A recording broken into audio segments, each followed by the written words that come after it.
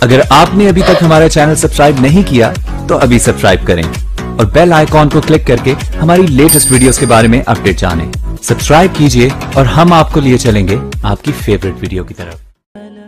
ارشاد فرمایا، جو اللہ سے ڈرے، اللہ اس کے لیے راستے کھول دیتا ہے اور اللہ اس کو وہاں سے دیتا ہے جہاں سے اسے گمان بھی نہیں ہوتا۔ وَمَنْ يَتَوَكَّلْ عَلَى اللَّهُ فَهُوَ حَسْبُهُ اور جو اللہ پر بھروسہ کرے، اللہ اس کے لیے کافی ہو جاتا ہے۔ اس کی ضروریات کا وہ خود کفیل ہوتا ہے اور اس کے کام اس کے ذمہ کرم پہ ہوتے ہیں۔ وہ ہو کے دیکھے اس کا۔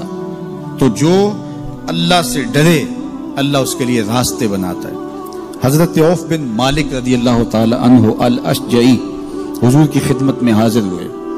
اور عرض گزار ہوئے کہ میرا بیٹا سالم مشرقین کی قید میں ہے اور میں فاقوں کی حالت میں ہوں۔ تو فرمایا، آل محمد کے پاس ایک سیر جو ہیں، بس اس کے علاوہ ہمارے پاس بھی کھانے کے لیے دنیاوی اسباب نہیں ہیں۔ کہا، صبر کرو اور اللہ سے ڈرو۔ اور لا حول ولا قوت الا باللہ کسرت کے ساتھ پڑھو۔ یہ ایسا وظیفہ ہے، ایک حدیث پاک میں آتا ہے کہ یہ ننانوے بیماریوں کا علاج ہے۔ اس میں سب سے کم درجے کی بیماری ہم اور غم ہے۔ یہ دکھوں کا مداوع ہے، مشکلات کا علاج ہے اور یہ وظیفہ میرے حضور نے بتایا۔ حضرت ابو ذر غفاری رضی اللہ تعالیٰ عنہ کو حضور نے پانچ چیزیں بتائی تھی ان میں سے پانچویں چیز یہ تھی کہ ابو ذر کثرت کے ساتھ لا حول ولا قوت الا باللہ پڑا کرو۔ فرمایا، عرش الہی کے نیچے ایک خاص خزانہ ہے، یہ وظیفہ وہاں سے آیا ہے۔ یہ زندگی میں معمول بنا لو، جب پھنس جاؤ، مشکلات میں آ جاؤ، تو لا حول ولا قوت الا باللہ پڑھو، اللہ راستے کھولے گا۔ تو حضور نے تین چیزیں فرمائی، اللہ سے ڈرو، صبر کرو اور کثرت کے ساتھ لا حول ولا قوت الا باللہ پڑھو۔ وہ فرماتے ہیں کہ میں یہ عمل شروع کیا۔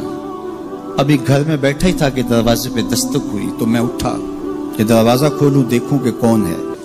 تو دروازہ کھولا، دیکھا میرا بیٹا کھڑا ہے اور اس کے پیچھے سو اونٹ کھڑے ہیں۔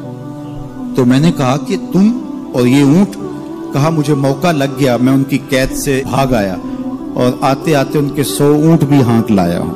وہ یار زک ہو من ہے سلا یہ تصب وہ تمہیں وہاں سے رزق دے گا جہاں سے تمہیں گمان بھی نہیں۔ اس کے ہو کے تو دیکھو۔ اللہ اکبر۔ اللہ کے ہو جاؤ۔ تو پھر وہ تمہاری ضرورتوں کا کفیل ہو جائے گا۔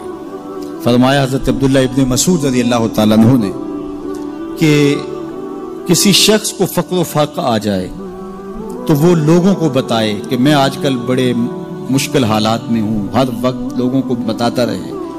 تو اس کی مشکل بڑھے گی، اس کی مشکلیں آسان نہیں ہوں گی اس طرح۔ اور اگر وہ اپنی اس مشکل کو کسی سے شیئر نہ کرے بلکہ مسلح بچھا کے اپنے رب سے کہے کہ مالک فقر و فاقہ آ گیا ہے اور اس کا علاج تیرے پاس ہے، اس مرض کا مداوع تیرے پاس ہے۔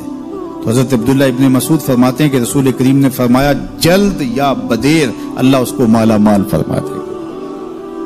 یہ بھی کبھی کر کے دیکھو، مشکل آ جائے، فاقہ آ جائے، مصیبت آ جائے، کسی سے نہ کہو، صرف اپنے رب سے کہو۔ پھر دیکھنا اس کی کرم نوازیوں کا می کیسے برستا۔ فرمایا، اللہ پر بھروسہ کرنے کا جو حق ہے، اگر وہ تم ادا کر دو، وہ تمہیں ایسے رزق عطا کرے جیسے پرندوں کو عطا کرتے ہم تو دکان پہ جانا ہوتا ہے، فیکٹری میں جانا ہوتا ہے۔